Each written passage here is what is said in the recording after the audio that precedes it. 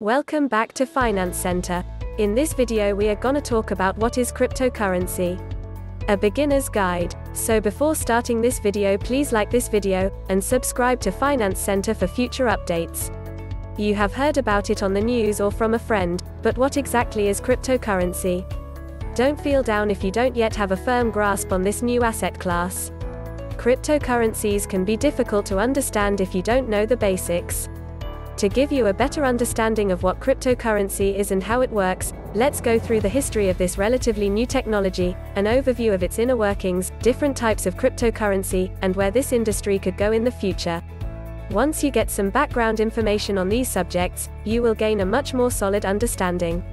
History Cryptocurrencies have gone down a long, winding road in the past decade, even though the general public has only stumbled upon cryptocurrencies over the past several years, there has been significant work that has led to this point. In fact, cryptocurrencies have a history that dates back more than a decade, to a time when Bitcoin didn't even exist. Was Bitcoin the first cryptocurrency? Cryptographers had been playing around with the idea of cryptocurrencies decades before Bitcoin came into existence. At the time, the question of what is cryptocurrency wasn't yet fully answered, but that didn't stop people from attempting to create their own.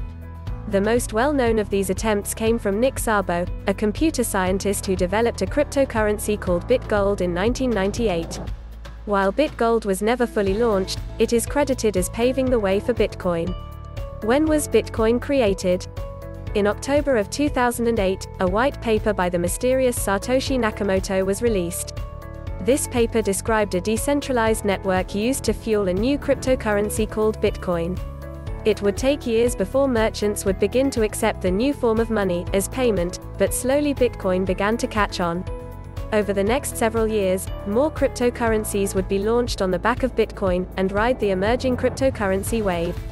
Cryptocurrencies go global. By 2014, there were already dozens of cryptocurrencies popping up. Some of these, like Ethereum, would continue to grow and thrive over time, yet others would go bust as quickly as they came into existence. When 2017 rolled around, cryptocurrencies were becoming the darling new niche of the financial world, hailed as a savior from the corrupt financial system. They were bought and sold on new trading platforms. Hundreds of tokens, another name for cryptocurrencies, had been created and their values were quickly rising. By the end of 2017, Bitcoin had skyrocketed in price from $900 to $20,000, and the entire industry hit a valuation of $600 billion. By 2018, it was clear cryptocurrencies were here to stay. What is cryptocurrency?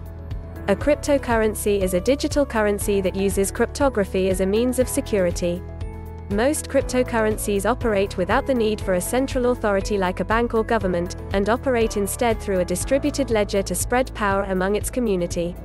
A cryptocurrency has a set, defined monetary policy, whether it be a fixed limit of tokens, or allowing the creation of new tokens based on predetermined rules. How does it work? The distributed ledger that holds cryptocurrency transactions is known as a blockchain. A blockchain consists of blocks, which hold individual transaction information. This information is time-stamped and posted to the ledger, so that each transaction can be verified by other blockchain stakeholders and never be altered. In order to conduct a transaction on the blockchain, users agree to pay a small fee, which helps maintain the security of the blockchain itself. Let's say you want to send your friend a small amount of Bitcoin. You create a transaction using your Bitcoin wallet, and request to send Bitcoin to your friend's wallet, agreeing to pay a nominal transaction fee along the way. After you make the transaction request, your transaction gets grouped with other transactions into a block on the Bitcoin blockchain. This block is verified by miners and posted to the blockchain, making the transaction complete. Through this process, you can send cryptocurrency to anyone, anywhere around the world, with low transaction fees. Want to send $1 million Ethereum to your family in Brazil? Go right ahead. Not only will the transaction usually be completed in a matter of seconds or minutes, it will only cost you a fraction of the fee you would have paid using a traditional money transfer service. What is cryptocurrency used for?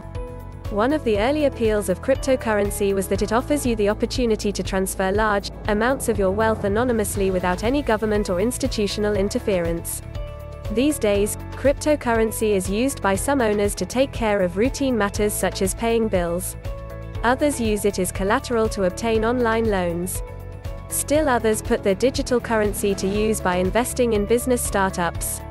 The combination of innovative tech ventures and cryptocurrency seems like a natural fit. You can also use your digital currency to travel the world. Arrive at your destination in the luxury vehicle you purchased with your cryptocurrency, or on the airline that readily accepted your Bitcoin. What is cryptocurrency mining? Cryptocurrency mining refers to the reward gained from verifying transactions on a blockchain. Blockchain transactions are encrypted when added to a block.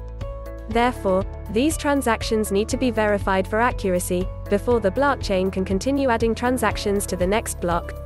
This is where miners come in. Miners use their computing power to solve complex mathematical problems to verify transactions in a block on the blockchain. The first miner to solve the problem and verify all of the transactions in a block is rewarded with a fee for their services. This method of securing a blockchain is known as proof of work, POW. Think you are ready to earn cryptocurrency by mining? Don't fire up your laptop just yet. These days, it takes specialized and expensive computer hardware to mine quickly enough to solve the puzzle, before other miners and receive a cryptocurrency reward. In fact, entire businesses are created to mine cryptocurrency and profit from the rewards. Why do cryptocurrencies have value? It seems strange to some people that cryptocurrencies have value, when most of them are not official products of a sovereign nation. However, the misunderstanding goes hand in hand with a misunderstanding of the definition of currency. Simply put, currency is anything that buyers and sellers agree will serve as a form of exchange between them. There are enough investors and traders of cryptocurrency to make it an attractive form of currency to people around the world. Is cryptocurrency safe? Let's look at two aspects of cryptocurrency safety investment and storage. Of course, cryptocurrency carries risk like any other investment. However, the gains and losses of cryptocurrency tend to occur much faster than with other currency investments. Successful traders and investors have built digital fortunes thanks to the volatility of Bitcoin. However, others who weren't so lucky lost their funds quickly. Once you have acquired digital currency, you will want to keep it safe in a crypto storage device called a wallet. The encryption technology that these storage devices use to keep your currency safe continues to evolve to stay ahead of 21st century digital thieves. What do you think about our video?